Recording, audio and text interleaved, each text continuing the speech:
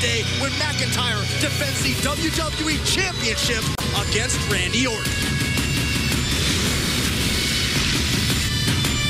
What Randy Orton did last week was completely unforgivable.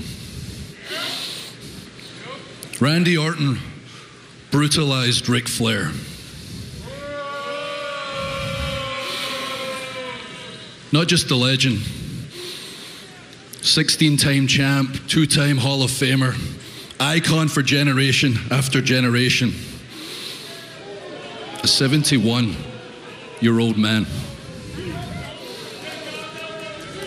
Randy, Ric's someone you grew up around. For 20 years, he was your mentor, your protector most of the time, your friend.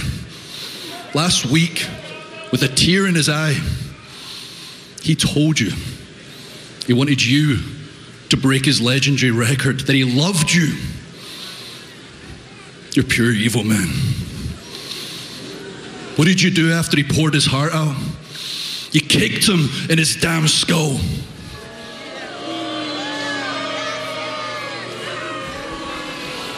Here's the thing, Randy. The SummerSlam.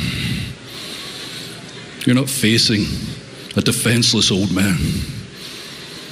You're facing a pissed off six foot five Scottish fire breathing dragon, and I am going to severely hurt you.